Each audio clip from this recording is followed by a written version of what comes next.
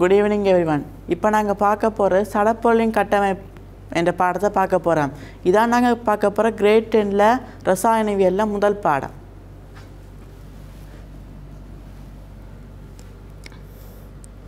முதல்ல நாங்கள் பார்க்க போகிற சடப்பொருள். சடப்பொருள் என்றால் என்ன? திணிவை கொண்டதும் இடத்தை அடைத்துக் கொள்வதுமானவை சடப்பொருள் எனப்படும். அதான் நாங்கள் உதாரணமாக பிரித்தோம்டா மூன்று வகையாக பிரிக்கலாம். திண்மம் திரவம் வாயு என்ற மூன்று நிலையாக பிரிக்கலாம். அதோட சடப்போல இன்னும் ரெண்டு வகையாக பிரிக்கலாம். பௌதிக நிலை ரசாயன நிலை. பௌதிக நிலையாக பிரித்து வாரதான் திண்மம் திரவம் வாயு. அதோட ரசாயன கூறா பிரித்தோம்னா தூய பதார்த்தம் கலவைண்டு ரெண்டு விதமாக பிரிக்கலாம். அதனால் நாங்கள் தூய பதார்த்தத்தை பிரித்தோம்னா மூலகம் சேர்வை என்று கூறலாம். அதோட ஏ கலவையை பிரித்தோம்னா ஏகவின கலவை பல்லின கலவை என்று பிரிக்கலாம். அதுக்குள்ளே நாங்கள் பார்க்க போகிறது மூலகங்கள். பௌதிக அல்லது ரசாயன முறை மூலம் வேறுபட்ட பதார்த்தமாக பிரிக்க முடியாதை நாங்கள் மூலகம் என்று சொல்லுவோம். அதில் உதாரணமாக பார்த்தோம்னா கால்சியம் கார்பன் சல்ஃபர் இதே போல் நிறைய மூலகங்கள் கண்டுபிடிக்கப்பட்டுள்ளது. அதோட இதுவரை நூற்றி பதினெட்டு வகையான மூலகங்கள் கண்டுபிடிக்கப்பட்டுள்ளது. அடுத்தது நாங்கள் பார்க்க போகிற சேர்வை. சேர்வை என்பது ரெண்டு அல்லது பல மூலகங்களை ரெண்டு அல்லது பல மூலகங்களை குறித்த விகிதத்தில் ரசாயன முறை மூலமோ ரசாயன முறை மூலம் ஏக ரசாயன முறை மூலம் சேர்க்கப்பட்டதான் சேர்வை. அதை நாங்கள் உதாரணமாக பார்த்தோம்னா செப்பு சல்வேட் நீர் கார்பன் ஆக்சைடு. அடுத்தது நாங்கள் பார்க்க போகிறது அணு.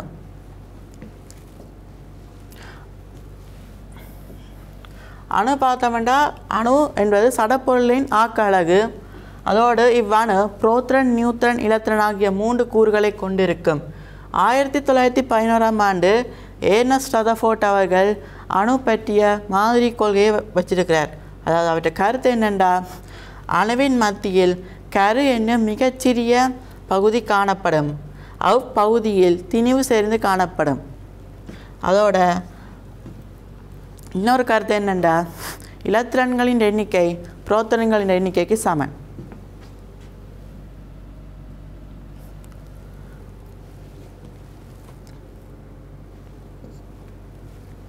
அடுத்தது நாங்கள் பார்க்க போகிறது அணு பற்றிய கோலக மாதிரி உரு. இங்கு அணு அணு பற்றிய கோலக மாதிரி உரையை முன்வைத்தவர் ஏர்னஸ் ரதஃபோர்ட் அவர்கிட்ட கூற்று என்னென்றா அணுவின் மத்தியில் காணப்படும் கருவை சூழ மறையேற்றத்தை கொண்ட இலத்திரங்கள் அசைந்து கொண்டிருக்கும். இதனை சூரியனை சூழ கோள்கள் சுற்றி வருவது போல் குறிப்பிட்டிருக்கிறார். அது இங்கே பார்த்தீங்கன்னா இதுக்குள்ள கரு என்ற பகுதி இருக்கும். இதை சுற்றி இலத்திரன்கள் சுற்றி வந்து கொண்டே இருக்கு.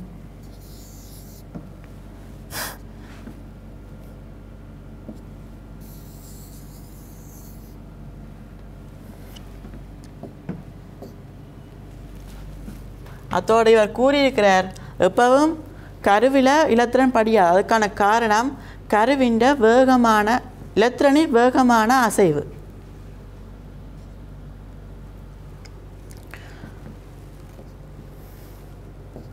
அடுத்த நாங்கள் பார்க்க போகிற நீல்போர் நீல்போர் என்பவர் தான் ரதஃபோர்ட்டின் நிபந்தனையை பரிசோதனை மூலம் முன் முன்வைத்தவர்.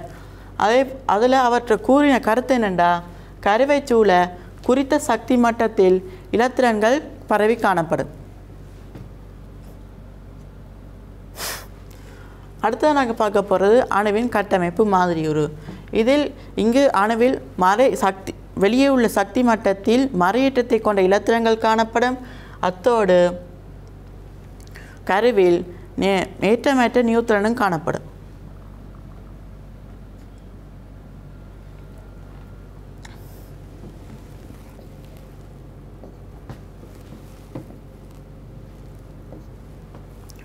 அடுத்து நாங்கள் பார்க்க போகிறது சக்தி மட்டங்கள். சக்தி மட்டங்கள் அணுவில் நான்கு சக்தி மட்டங்களை கொண்டுள்ளது. அத்தோடு சக்தி மட்டங்கள் நான்கு நான்காக பிரிக்கப்படும். உதாரணமாக அவை கேஎல்எம்என் என்று குறிப்பிடப்படும். அதோடு இங்கு சக்தி மட்டங்களில் நிரம்பியுள்ள இலத்திரங்களை காண்பதற்கு டென் டென் வர்க்கம் என்ற சமன்பாட்டை பயன்படுத்தும் உதாரணமாக முதலாம் சக்தி மட்டத்தில் உள்ள இலத்திரங்களை கவனிக்க கணிக்க வேண்டுமென்றால் டெண்டு தர ஒன்றின்ற வர்க்கம். என்ற போட்டு ஒன்றின் வர்க்கம் ஒன்று ஆகவே ரெண்டு தரம் உண்டு ரெண்டு. ஆகவே முதலாம் சக்தி மட்டத்தில் ரெண்டு இலத்திரங்கள் காணப்படும். ரெண்டாம் சக்தி மட்டத்தில் இலத்திர இலத்திரனை காண வேண்டும் என்றால் ரெண்டு தரம் ரெண் ரெண்டாம் சக்தி மட்டத்தில் உள்ள இலத்திரங்களில் காண்பதற்கு ரெண்டின் வர்க்கம் தர இரண்டு நாலு நான் ரெண்டு எட்டு. அதோட மூன்றாம் சக்தி மட்டத்தில் உள்ள இலத்தனங்களை கணிக்க வேண்டும் என்றால் ரெண்டு தர மூன்றின் வர்க்கம் சமன். மும்மூன்று ஒன்பது ரொம்ப பதினெட்டு ஆகவே மூன்றாம் சக்தி மட்டத்தில் பதினெட்டு இலத்திரங்கள் காணப்படும். அத்தோடு நான்காம் சக்தி மட்டத்தில் ரெண்டு தர நாலின்ற வர்க்கம் நான்கு பதினாறு பதினாறு ரெண்டு முப்பத்தி ரெண்டு என்ற விதத்தில் நாங்கள் சக்தி மட்டத்தில் நிரம்பி இலத்திரங்கள் நிரம்பியுள்ள விதத்தை அறியலாம்.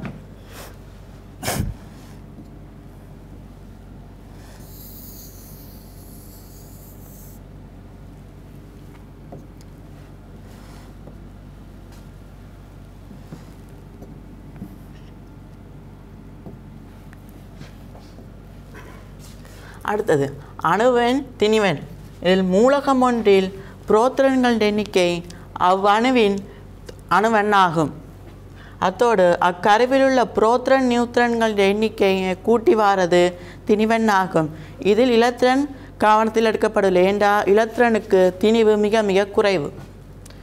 அத்தோடு மூலகத்தை நியம முறையில் அணுவன் திணிவன் எழுதும் முறை. அதில் பார்த்தீங்கன்னா எக்ஸ் எனும் மூலகத்தில் ஏ எனும் திணி திணிவன். ஏ என்று குறிக்கப்பட்டிருக்கிற திணிவன் சட்டென குறிக்கப்பட்டிருக்கிறது அணுவன். இங்கே திணிவன் மேலேயும் அணுவன் கீழேயும் குறிப்பிடப்பட்டுள்ளது. அதோடு உதாரணமாக நாங்கள் சோடியம் என்ற மூ மூலகத்தை எடுத்து பார்த்தோமென்றால் அதுக்கு திணிவன் இருபத்தி மூன்று அணுவன் பதினொன்று. அடுத்தது இலத்திரன் நிலையமைப்பு. அணுவின் கருவில் கருவில் கருவிலிருந்து வெளிநோக்கி காணப்படும் சக்தி மட்டத்தில் இலத்திரங்க நிலம்பியுள்ள விதத்தை இலத்திரன் நிலையமைப்பு என்று கூறலாம். உதாரணமாக நாங்கள் சோடியத்தை எடுத்து பார்த்தோம்னா அதில் இலத்திரன் நிலையமைப்பு ரெண்டு எட்டு ஒன்று. ஆகவே இதில் முதலாம் சக்தி மட்டத்தில் ரெண்டு இலத்திரனும் ரெண்டாம் சக்தி மட்டத்தில் எட்டு இலத்திரன்களும் மூன்றாம் சக்தி மட்டத்தில் ஒரு இலத்திரங்களும் காணப்படும். அடுத்தது ஒன்று இதில் காட்டப்பட்டிருக்கிறது ஒன்று தொடக்கம் இருபது வரையான மூலகங்களுக்கான இலத்திரன் நிலையமைப்பு. இல்லை உதாரணமாக நாங்கள் ஐதரசன் எடுத்து பார்த்தோம்னா அதுக்கு அணுவன் ஒன்று ஆகவே ஒரு ச சக்தி மட்டங்களே கொண்டு இருக்கும் அதில் ஒரு இலத்திரன் அந்த ஒரு சக்தி மட்டத்தில் இருக்கும். அடுத்தது நாங்கள் காபன் எடுத்து பார்த்தோம்னா அதுக்கு அணுவன் ஆறு. ஆகவே முதலாம் சக்தி மட்டத்தில் ரெண்டு ரெண்டாம் சக்தி மட்டத்தில் நான்கை கொண்டிருக்கும். ஆகவே ரெண்டு சக்தி மட்டங்களே கொண்டிருக்கும். அடுத்து நாங்கள் அலுமினியத்தை எடுத்துக்கொண்டோம்னா அதுக்கு பதிமூன்று இலத்திரங்கள் காணப்படும். ஆகவே முதலாம் சக்தி மட்டத்தில் ரெண்டு ரெண் ரெண்டாம் சக்தி மட்டத்தில் எட்டு மூன்றாம் சக்தி மட்டத்தில் மூன்று காணப்படும். அடுத்தது நாங்கள் பார்க்க போகிறது நவீன ஆவத்தின் அட்டவணை. இந்த நவீன ஆவர்த்தன கண்டுபிடித்தவர் மெண்டலிஃப் என்பவர். அதனால் இவர் கண்டுபிடித்த ஆவர்த்தன அட்டவணைக்கு மெண்டலிஃப் ஆவர்த்தன அட்டவணை என்று கூறலாம். இந்த ஆவர்த்தன அட்டவணையில் மூலகங்களின் பண்பை அடிப்படையாக கொண்டு இவ் அட்டவணை உருவாக்கப்பட்டது. அத்தோடு இதுவரைக்கும் கண்டுபிடிக்கப்பட்டுள்ள மூலகங்களை இந்த அட்டவணையில் சேர்க்க முடியும். அத்தோடு இனி கண்டுபிடிக்கப்படும் மூலகங்களை இந்த அட்டவணையில் சேர்க்க முடியும். அதான் இதில் சிறப்பம்சம் அடுத்த இதான் கிரேட் டென் புத்தகத்தில் இருக்கிற நவீன ஆவர்த்தன அட்டவணை இது முதல் இருபது மூலங்களுக்கான ஆவர்த்தன அட்டவணை இதில் பார்த்தீங்கன்னா இங்கே எட்டு கூட்டங்களும் எட்டு கூட்டங்களும் நான்கு ஆவர்த்தனங்களும் காணப்படும். அதில் நாங்கள் முதலாம் ஆவர்த்தனத்தை எடுத்துக்கொண்டோம்டா. ஐதரசன் ஹீலியம் என்பன காணப்படும்.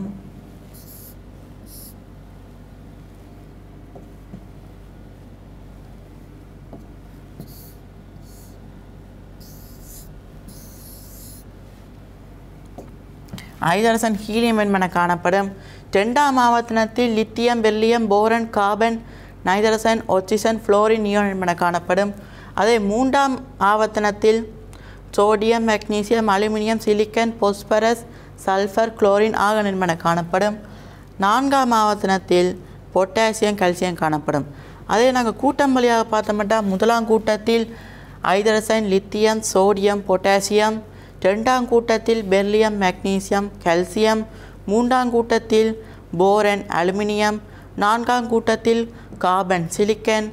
அஞ்சாம் கூட்டத்தில் நைதரசன் பொஸ்பரஸ் ஆறாம் கூட்டத்தில் ஒச்சிசன் சல்ஃபர் ஏழாம் கூட்டத்தில் ஃப்ளோரின் குளோரின் எட்டாம் கூட்டத்தில் ஹீலியம் நியோன் ஆகல். அடுத்தது நாங்கள் மூலகங்களை ஆவர்த்தனங்களாக பிரித்தல் பற்றி பார்க்க போகிறோம் ஆவர்த்தனம் ஒரு ஆவர்த்தனத்தை எவ்வாறு கணித்தல் என்றால் ஒரு மூலகம் எத்தனை சக்தி மட்டங்களை கொண்டிருக்குதோ அவ்வளவு அது ஆ- ஆவர்த்தனை கொண் ஆவர்த்தனங்களை கொண்டிருக்கும்னு கூறலாம். உதாரணமாக ஒரு சக்தி மட்டத்தை கொண்டிருந்தால் முதலாம் ஆவர்த்தனம் ரெண்டு சக்தி மட்டங்களை கொண்டிருந்தால் ரெண்டாம் ஆவர்த்தனம் மூன்று சக்தி மட்டங்களை கொண்டிருந்தால் மூன்றாம் ஆவர்த்தனம் நான்கு சக்தி மட்டங்களை கொண்டது நான்காம் ஆவர்த்தனம். இதில் முதலாம் ஒரு சக்தி மட்டத்தை கொண்டிருந்த முதலாம் ஆவர்த்தனத்தில் ஹீலியத்தை பார்க்கலாம். ரெண்டு சக்தி மட்டங்களை கொண்டது காபனை பார்க்கலாம். மூன்று சக்தி மட் மூன்று சக்தி மட்டங்களை கொண்டது உதாரணமாக மெக்னீசியம் அதில் முதலாம் சக்தி மட்டத்தில் ரெண்டு ரெண்டாம் சக்தி மட்டத்தில் எட்டு மூன்றாம் சக்தி மட்டத்தில் ரெண்டு காணப்படும். அதோட உதாரணமாக நான்கு சக்தி மட்டங்களை கொண்டதுக்கு கல்சியத்தை எடுக்கலாம். இதுக்கு உதாரணமாக பார்த்தீங்கன்னா முதலாம் சக்தி மட்டத்தில் ரெண்டு இலத்திரன்கள் ரெண்டாம் மூன்றாம் சக்தி மட்டத்தில் எட்டு இலத்திரங்களும் நான்காம் சக்தி மட்டத்தில் ரெண்டு இலத்திரங்களும் காணப்படும். இதான் இது முதல் இருபது மூலகங்களுக்கான ஆவர்த்தனங்கள் தரப்பட்டுள்ளது. ஐதரசன் எடுத்துக்கொண்டோம்னா அது ஒரு இலத்திரனை கொண்டு இருக்கும் ஆகவே முதலாம் சக்தி மட்டம் ஒரு சக்தி மட்டும்தான் காணப்படும். ஆகவே ஒரு முதலாம் ஆவர்த்தனம். அதே கார்பன் எடுத்துக்கொண்டோம்னா அதில் ஆறு இலத்திரங்களை கொண்டிருக்கும். ஆகவே அது ரெண்டு சக்தி மட்டங்களை கொண்டு இருக்கும் அந்த சக்தி மட்டத்தில் ரெண்டு நாலு என்ற விகிதத்தில் இலத்திரங்கள் காணப்படும். ஆகவே ரெண்டு இல ரெண்டு சக்தி மட்டங்களை கொண்டிருப்பதால் ரெண்டாம் ஆர்த்தனம் என்று கூறலாம். அவளோட கல்சியத்தை உதாரணம் எடுத்தோம்னா இது நான்கு சக்தி மட்டங்களை கொண்டது. அந்த சக்தி மட்டத்தில் ரெண்டு எட்டு எட்டு ரெண்டு என்ற வீரத்தில் இலத்திரங்கள் காணப்படும். ஆகவே இது நான்கு சக்தி மட்டங்களை கொண்டிருப்பதால் நான்காம் ஆர்த்தனம் என கூறலாம். அடுத்து நாங்கள் மூலகங்களை கூட்டங்களாக பிரித்தல் பற்றி பார்க்க போகிறோம் அந்த மூலங்களை கூட்ட கூட்டங்களாக பிரித்தலில் ஒரு ஒரு மூலகம் இறுதியோட்டில் எவ்வளவு விலத்திரங்களை கொண்டிருப்பதோ அதான் அதில் கூட்டம். அதில் நாங்கள் ஒவ்வொரு கூட்டத்துக்கும் ஒவ்வொரு பேருண்டு அதாவது முதலாம் கூட்டத்துக்கு கார உலக கூட்டம் ரெண்டாம் கூட்டத்துக்கு கார மண் கூட்டம் ஏழாம் கூட்டத்துக்கு ஈரணு வாயு கூட்டம் எட்டாம் கூட்டத்துக்கு சடத்துவ வாயு கூட்டம். இங்கு தரப்பட்டிருக்கிறது முதல் இருபதங்களுக்கு மூலகங்களுக்கான இலத்திரன் நிலையமைப்பு ஆவர்த்தனம் கூட்டம். இதில் உதாரணமாக நாங்கள் ஐதரசன் எடுத்து பார்த்தோம்னா ஒரு இலத்திரனை கொண்டிருக்கும். ஆகவே ஒரு ஆவர்த்தனத்தை ஒரு இலத்திரனை கொண்டிருப்பதால் ஒரு சக்தி மட்டங்கள் கொண்டிருக்கும். ஆகவே ஒரு முதலாம் ஆவர்த்தனம். இறு இறுதியோட்டில் ஒரு இலத்திரனை கொண்டிருப்பதால் ஆகவே முதலாம் கூட்டம்.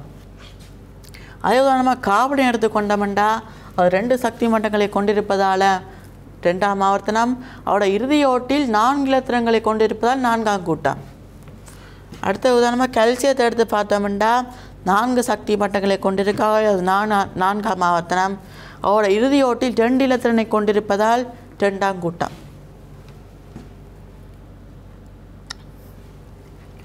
அடுத்தது பார்க்க போகிற சமதானி. சமதானி என்றால் என்ன? ஒரே அணுவெண்ணையும் வேறுபட்ட திணிவெண்ணையும் கொண்டது. அதில் உதாரணமாக பார்த்தோம்னா ஐதரசனை எடுத்துக்கொள்ளலாம். அதில் மூன்று துத் புரோத்தியம் துத்தேரியம் திருத்தியம். இதில் பார்த்தீங்கன்னா புரோத்தியத்தில் ஒரு அணுவெண்ணையும் ஒரு அணுவெண்ணையும் ஒ- ஒரு திணிவெண்ணையும் கொண்டது. ஆகவே ஒரு அணுவன் ஒரு திணிவன். ஆனால் இங்கே பூ இல நியூத்ரன் பூஜ்ஜியம் ஆகவே இதுக்கு ஒரு அணுவன் ஒரு திணிவன். அதோட துத்திரித்தை எடுத்துக்கொண்டோம்டா இலத்திரன் உண்டு புரோத்திரன் உண்டு நியூத்திரன் உண்டு ஆகவே இதில் திணிவன் ரெண்டு அணுவன் உண்டு அதோட திருத்தி திருத்தியத்தை எடுத்து கொண்டப்பண்டா அதுக்கு எப்பவும் அணுவன் ஒன்றா இருக்கும். ஏன்டா புரோத்திரன் ஒன்று இருக்கிறதால அணுவன் ஒன்றா தான் இருக்கும். ஆனால் இங்கே நியூத்ரன் ரெண்டு காணப்படுறதால மூன்றில் மூன்று திணிவனை கொண்டிருக்கும்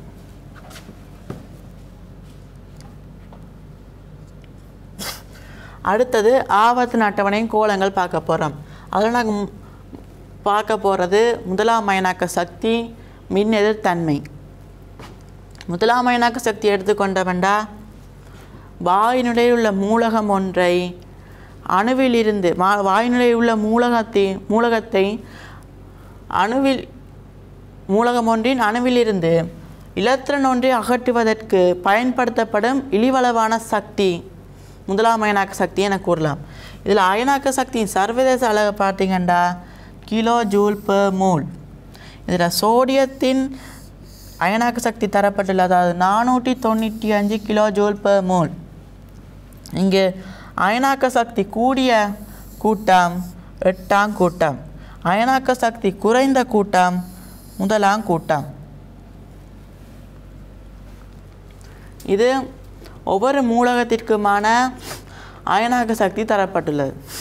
இங்கே என்னென்றா ஆவர்த்தனம் வழியே மேலிருந்து கீழ் செல்லும் போது அதன் அயனாக்க சக்தி கூடு குறைகிறது. அதுக்கான காரணம் ஒவ்வொரு மூலகத்தின் சக்தி கூ சக்தி மட்டங்கள் கூட கூட அவ் அவ் மூலகத்தின் அயனாக்க சக்தி குறைந்து கொண்டே செல்லும். அதோட அயனாக்க சக்தி எதிரணுவன் வரைவு பார்த்தோம்டா இங்கே முதலாவதாக இருக்கிறது ஆயுதரசன். முதலாம் கூட்டம் ஹீலியம். எட்டாம் கூட்டம் ஆகவே அது உயர்நிலையில் உள்ளது. ஆகவே மறுபடியும் முதலாம் கூட்டம் வருவதால் கீழே செல். போய் பிறகு பெர்லியம். பெர்லியம் ரெண்டாம் கூட்டம் போரன் மூன்றாம் கூட்டம் ஆகவே சின்ன ரக்கம் கார்பன் நாலாம் கூட்டம் ஒரு ஏற்றம் நாயதரசன் அஞ்சாம் கூட்டம் ஏற்றம். ஆறாம் கூட்டத்தில் இறக்கம் அதோட ஃப்ளோரின் ஏழாம் கூட்டம் ஏற்றம் நியோன் எட்டாம் கூட்டம் அவை ஏற்றம்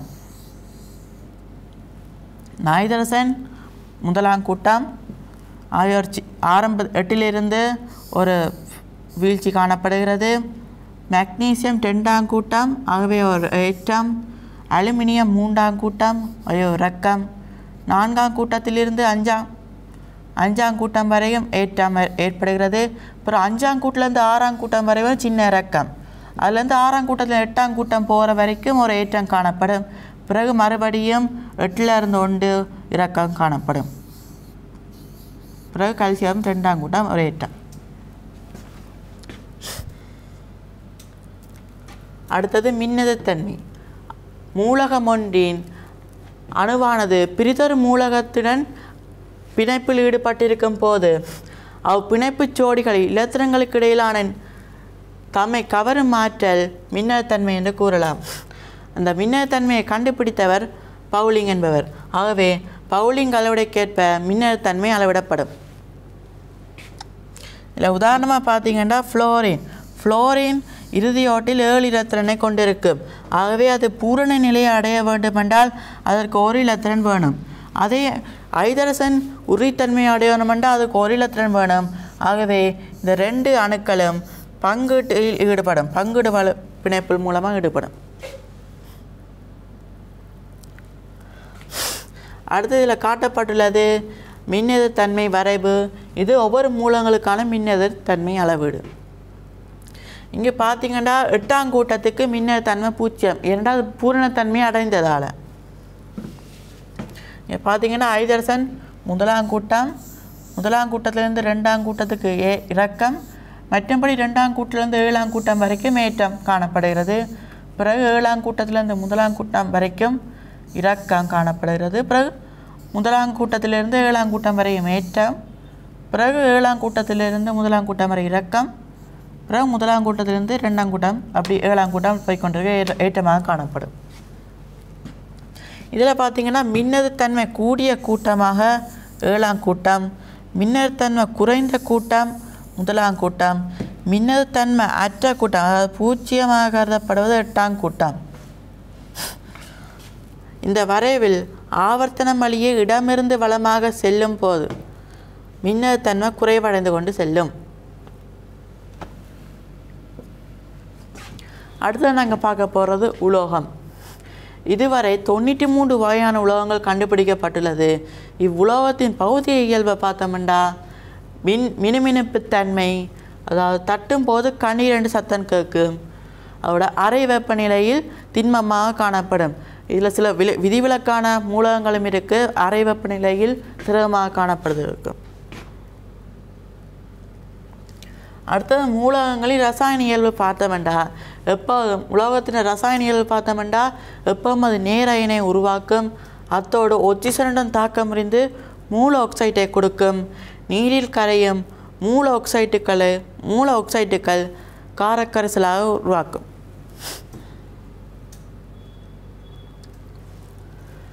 இதான் இதில் ப்ளூ கலரால் காட்டப்பட்டிருக்கிறது எல்லாம் மூலகங்கள்.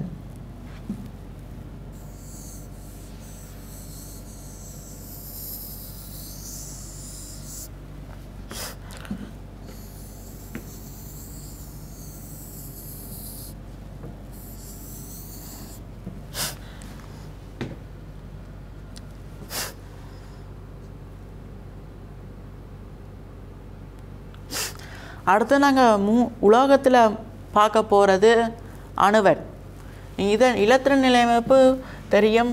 ரெண்டு எட்டு ஒன்று. ஆகவே சோடியம் ஒரு தாக்குதிறன் கூடிய உலோகம். ஆகவே இது வலியுடன் மிக விரைவாக தாக்கம் புரியும். ஆகவே இவற்றை சோடியம் மண்ணெண்ணெய் அல்லது பறவின் எண்ணெயில் வைத்து பேணப்படுதல். இது கத்தியில் வெட்டக்கூடிய அளவு மென்மையானது. அதோடு இதை எரிக்கும் போது பொன்னிற மஞ்சள் சுவாலையுடன் எரியும். இந்த பகுதியை இயல்பை பார்த்தோம்னா மென்மையானது. பளபளப்பாகவும் வெள்ளி போன்ற மினுமினுப்பு தன்மையை கொண்டிருக்கும். அடர்த்தி நீரிலும் விட குறைவு. அதாவது நீரை விட நீரிலும் மிதக்கும் அதோட மின்வெப்ப கடத்தி சிறந்த மின்வெப்ப கடத்தி. அடுத்தது நாங்கள் பார்க்க போகிறோம் சோடியத்தின் ரசாயன இயல்பு. சோடியம் உலோகம் சோடியம் உலோகம் வழியில் ஒச்சிசனுடன் தாக்கமடைந்து சோடியம் ஆக்சைட்டை கொடுக்கும். அதோட சோடியம் குளிர் நீரிடம் உக்கிரமான தாக்கம் புரிந்து சோடியம் ஹைட்ரோக்சைட்டுடன் ஐதரசன் வாயுவை கொடுக்கும். அமிலம் சோடியம் அமிலத்துடன் மிக உக்கிரமான தாக்கத்தை தாக்கமடையும். ஆகவே உலோ உலோக குளோரைட்டுடன் ஐதரசன் வாயுவை கொடுக்கும். சோடியத்தின் பயன்கள் பார்த்தோம்னா தங்கம் வெள்ளி போன்ற உலோக பிரித்தெடுப்பில் தேவைப்படும் சோடியம் சைனேட்டை உருவாக்க யூஸ் பண்ணப்படும். அதோட டைட்டேனியம் சேர்க்கோனியம் போன்ற சேர்வைகளிலிருந்து அவ்வுலோகங்களை பிரித்தெடுப்பதற்கு பயன்படுத்தப்படும் சோடியம் அமிழ்கம் தயாரிப்ப தயாரிப்பதில் பயன்படுத்தப்படும் இண்டிகோ சாயம் தயாரிப்பதில் பயன்படுத்தப்படும். அடுத்து நாங்கள் பார்க்க போகிற உலோகம் மக்னீசியம் இது இந்த அணுவன் பன்னெண்டு இலத்திர நிலையமைப்பு ரெண்டு எட்டு ரெண்டு. ஆகவே தாக்குதல் கூடிய உலோகமாக இருந்தாலும் லேசான உலோகம். அதாவது கையால் பிக்கலாம். அவ்வளோ மெல்லிசானது. அதோடு இது இயற்கை சுயாதீனமாக காணப்படாது ஏனடா சோடியத்தை விட தாக்குதலம் கூட குறைவாக இருந்தாலும் கூடிய தாக்குதலை கொடுக்கும். இது கடல் நீரில் மக்னீசியம் குளோரைட்டாக காணப்படும். இது வழியில் வைக்கும்போது மங்குதல் அடையும். எனினும் மணல் கடதாசினால் தேய்க்கும் போது இது உறைஞ்சும் போது மினுமினுப்பு தன்மையை கொடுக்கும். இதில் பார்த்தீங்கன்னா மெக்னீசியத்தின் இயல்பு தரப்பட்டுள்ளது. அதாவது நீரிலும் விட அடர்த்தி கூட. அதாவது ஆயிரத்தி எழுநூற்றி ஐம்பது kilogram metre per metre second metre minus two அதாவது உயர் வெப்ப மின் கடத்தி ஆகும் இது.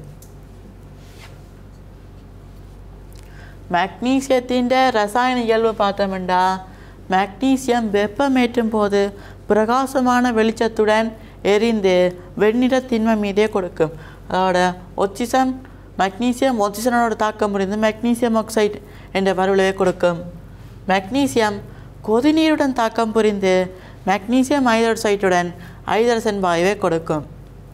அதோட மக்னீசியம் ப்ளஸ் கொதிநீர் மெக்னீசியம் ஹைட்ரோசைட் ப்ளஸ் ஐதர்சன் மெக்னீசியம் ஐதான அமிலத்துடன் தாக்கம் புரிந்து மெக்னீசியம் குளோரைட்டுடன் ஐதரசன் வாயுவை கொடுக்கும்.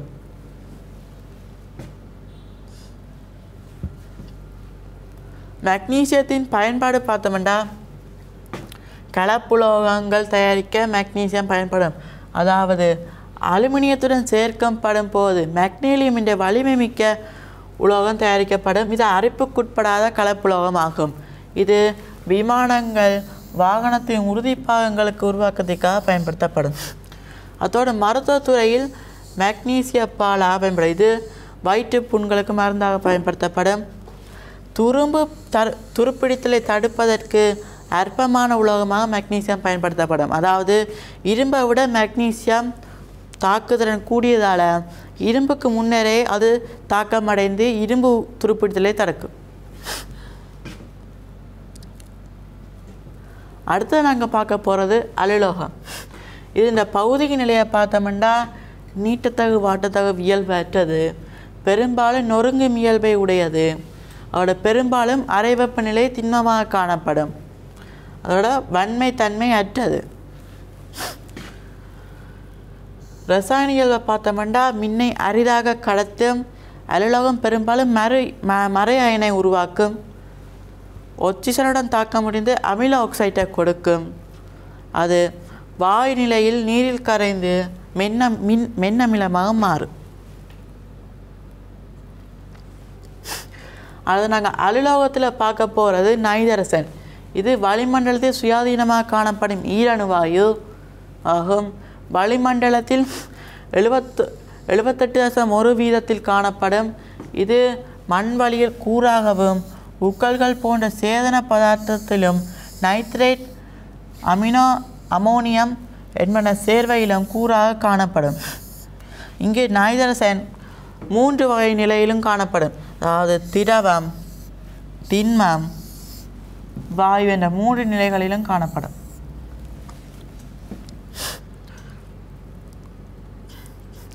ഇതിൻ്റെ ഭൗതിക இயல்பு பார்த்தோம்னா நிறமனமற்றது வலியை விட அடர்த்தி குறைவென்றதால தான் அது வளிமண்டலத்தின் மேல் மேல் பகுதியில் காணப்படுகிறது நீரிலும் சிறிதளவு கரையும் பெரும்பாலும் சேதன கரைப்பால் நல்லா கரையும் தகன துணை இலி ஆகையால் சு- முதல் ப ஆகணுக்கு பதிலாக மின்குமிழில் நாய்தரசன் அடைத்து முதல் பாவிக்கப்பட்டுள்ளது அதோடு இவ் நைதரசன் மக்னீசியத்துடன் சேர் சேர்க்கும் போது உலோக நைட்ரேட் என்ற உ- உலோகத்தை உருவாக்கும்.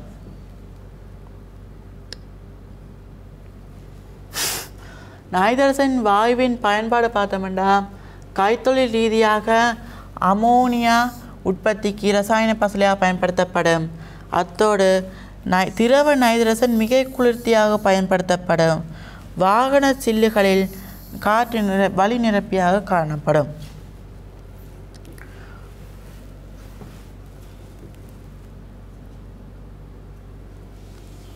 அடுத்து நாங்கள் அலுலோகத்தில் பார்க்க போகிறது கந்தகம். இங்கே பார்த்தீங்கன்னா இதில் அணுவன் பதினாறு இலத்திரன் நிலையம்பு ரெண்டு எட்டு ஆறு. சல்ஃபர் பல்வேறு வடிவத்தில் காணப்பட்டாலும் யாதேனும் மூலகங்கள் இயற்கையில் பல்வேறு வடிவத்தில் காணப்படுகிறது. இதன் புறத்திருப்பம் இதில் இப்போ ரெண்டு புறதிருப்பங்கள் காணப்படும். கந்தகங்கள் நொறுங்கக்கூடிய மஞ்சள் நிற பளிங்குருவாகவும் பளிங்குருவற்ற மஞ்சள் நிற தூளாகவும் காணப்படும்.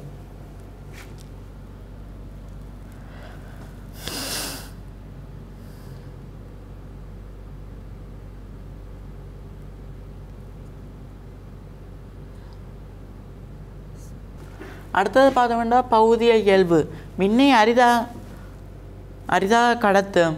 அத்தோடு சேதன கரைப்பாலின் சிறிதளவு சிறி சிறிதளவு கரைந்தாலும் காபனீர் சல்ஃபைட்டின் நன்றாக கரையும். இந்த ரசாயனிகளை பார்த்தவண்டா கந்தகத்தை எரிக்கும் போது நீல நீல நிற சுவாலையுடன் எரிந்து கந்தக வீரோட்சைட்டை கொடுக்கும். அத்தோடு அநேக உலோகங்களை கந்தகத்துடன் வெப்பமேற்றும் போது உலோக சல்ஃபைட்டை உருவாக்கும். கந்தகத்தின் பயன்பாடு பார்த்தோம்னா சல்ஃபூரிக் அமிலம் அதாவது ஆசிட் உற்பத்தியில் ரப்பரை வல்கனைஸ் படுத்துதல் ரப்பரை உறுதிப்படுத்துதல். இதோட வைன் பியர் தயாரிப்பில் பொதுவாக பங்கசு கொல்லியாகவும் மருந்து வகை உற்பத்தியிலும் பயன்படுத்தப்படுகிறது. சல்ஃபைட் அடங்கிய சாய வகைகள் அதாவது கார்பனீர் சல்ஃபைட் போன்ற கரைப்பான்கள் கந்தவீரோட்சைட் கந்தகவீர் வாயு தீக்கொ தீக்குச்சி பட்டாசு போன்ற உற்பத்திகளை செய்வதற்கு பயன்படுத்தப்படும். அதோட அடுத்தது நாங்கள் அலுவலகத்தில் பார்க்க போகிறது கார்பன் இந்த அணுவன் பார்த்தீங்கன்னா ஆறு இலத்திர நிலையமைப்பு ரெண்டு நாலு. இது இயற்கையில் பல்வேறு வ- வடிவத்தில் காணப்படும். இதில் புறதிருப்பங்கள் பார்த்தீங்கன்னா பளிங்குருவான காவன் பளிங்குருவற்ற காவன் இதில் பளிங்குருவான காப்பத்துக்கு காவனுக்கு உதாரணமாக பார்த்தோம்னா வைரம் காரியம் ஃப்ளரின். அதே பளிங்குருவட்ட காவனை பார்த்தீங்கன்னா நிலக்கரி மரக்கறி சுடற்கறி.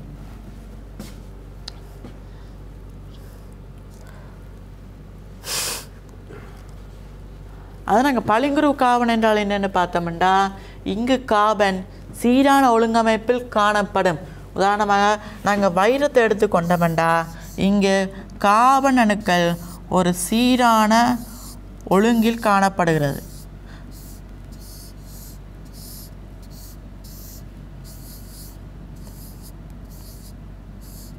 இது சீரான ஒழுங்கில் காணப்படுகிறது.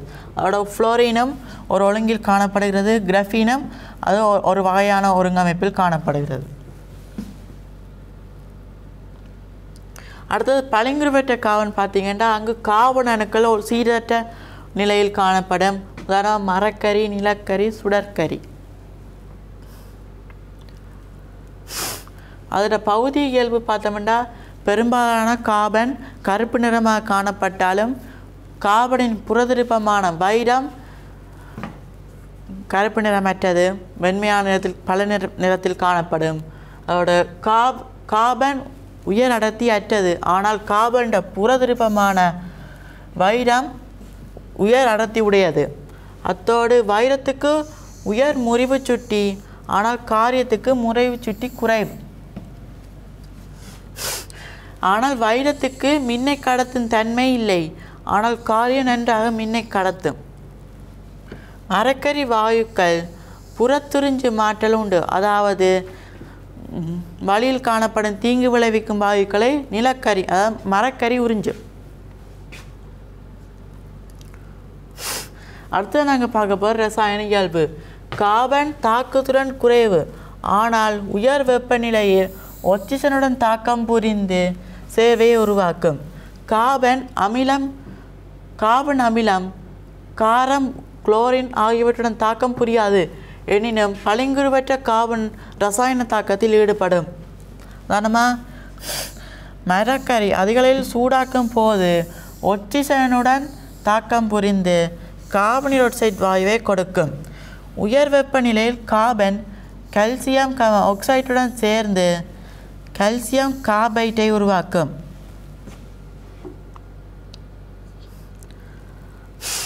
இங்கே பார்த்தீங்கன்னா கார்பன் பளிங்குபட்ட கார்பன்ற பயன் கருப்பு நிற பூச்சி தயாரிப்பதற்கும் ரப்பர் நிரப்பியாக பயன்படுத்தப்படும் அதோடைய நிலக்கரி எடுத்துக்கொண்டோம்னா எரிபொருளாகவும்.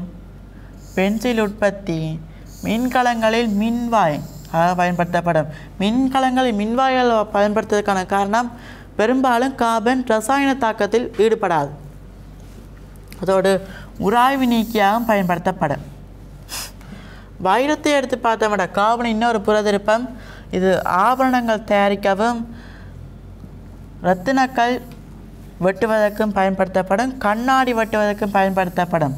இதிலிருந்து என்ன தெரியுது? வைரம் வன்மைத்தன்மை கூடியது. அடுத்தது கறி. வாயுக்களை புறத்துறிஞ்ச மாற்றலுடையது. நீரை சுத்திகரிப்பில் இவ் இவ்வாறு பயன்படுத்தப்படுகிறது. கார்பன் தாள்கள் பயன்படுத்தப்படும். அதாவது என்ன தேவைக்காண்டினா விண்கலத்தின் பாகங்கள் தயாரிப்பதற்கு விண்வெளி உடைகள் தயாரிப்பதற்கு பயன்படுத்தப்படும். அத்தோடு ஏவுகணைகள் தயாரிப்பதற்கு பயன்படுத்தப்படும். அடுத்து நாங்கள் உலோகப் போலிகள் பார்க்க போகிறோம் அதில் சிலிக்கன் பார்த்தா அது புவியோட்டில் ஒக்சிஜனுக்கு அடுத்து அதிகமாக காணப்படும் ஒரு மூலகமாகும். இயற்கையில் இரு வடிவத்தில் காணப்படுகின்ற இவை பளிங்குருவானது பளிங்குருவற்றதாக காணப்படும். இங்கே பளிங்குருவான சிலிக்கணக்கு பார்த்தோம்னா உதாரணமாக திருவானைக்கல் மணல் ரத்னக்கல்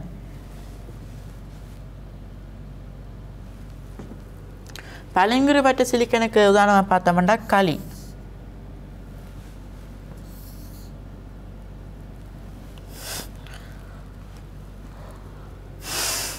சிலிக்கனின் பயன்கள் பார்த்தோம்டா. ட்ரான் டிரான்சிஸ்டர் இருவாயு உற்பத்தி. அதாவது டிரான்சிஸ்டர் இருவாயு டயோட் உற்பத்தியில் சூரிய கலங்கள் உற்பத்தி அதாவது சோலார் பேனல் உற்பத்தியிலும் பயன்படுத்தப்படுகிறது. அத்தோடு கணினியின் துணைக்கூறுகளின் உற்பத்திக்கு பயன்படுத்தப்படுகிறது. அது கணினியில் தாய்ப்பலையில் உள்ள கூறுகளும் சில இலத்திர சில வகையான இலத்திரனியல் கூறுகளையும் உருவாக்குவதற்கு சிலிக்கன் பயன்படுத்தப்படும். அடுத்து நாங்கள் பார்க்க போகிறோம் போரன். இது கருமை நிறையான பளிங்குறுத்தன்மையான மூலகமாகும். இதன் அடர்த்தி நீரை விட மூன்று மடங்கு அதிகம். அதாவது மூவாயிரத்தி முந்நூறு கிராம் மீட்டர் மைனஸ் த்ரீ தாக்குத்திறன் ஒப்பீட்டு அளவில் குறைவு. வழியில் உயர் வெப்பநிலை வெப்பமேற்றினாலும் தாக்கத்தில் ஈடுபடாது. உயர் வெப்பநிலையில் நைதரசன் ஒச்சிசன் நைத்ரிக் அமிலம் செறிவான சல்பூரிக் அமிலம் கார்பன் கந்தகம் என்பவற்றுடன் தாக்கம் புரியும். அதோட போரடின்ற பயன்கள் பார்த்தோம்னா உலோகங்களை உருக்கிவிடுது அதாவது வெல்டிங்குக்கு தேவையான உலோகங்களை ஒட்டுவதை தயாரிப்பதற்கு பயன்படுத்தப்படும். தோல் கழிப்பு அதாவது ஸ்கின் க்ரீம் தயாரிப்பதற்கு பயன்படுத்தப்படும். உயர் வெப்பநிலைக்கு வெப்பமேற்றக்கூடிய கண்ணாடி வாயுகளை தயாரிப்பதற்கு பயன்படுத்தப்படும். குறை கடத்தி கலப்படம் செய்வதற்கு பயன்படுத்தப்படும். இங்கே பார்த்தீங்கன்னா ஃபயர் ப்ரூஃப் கிளாஸ் தயாரிப்பதற்கு பயன்படுத்தப்படும் ஃபேஸ் க்ரீம் ஸ்கின் க்ரீம் இந்த வாய்ப்பை அளித்த எனது ஆசிரியர்களுக்கும் எனது நன்றியை தெரிவித்துக்கொண்டு இத்தோடு எனது நிகழ்வுரையை முடிக்கிறேன்.